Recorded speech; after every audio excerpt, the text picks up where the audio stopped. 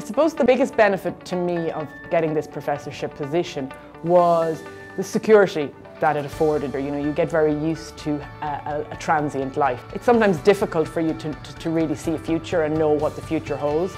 Getting the position here gave me an identity. I felt that now I'm a professor at Trinity College Dublin. This is who I am, this is where I'm going to be, this is where I'm going to progress and develop my career. And so having that security then enabled me to go out and be a better scientist and raise more research funding and develop my international career in the knowledge that I had this identity.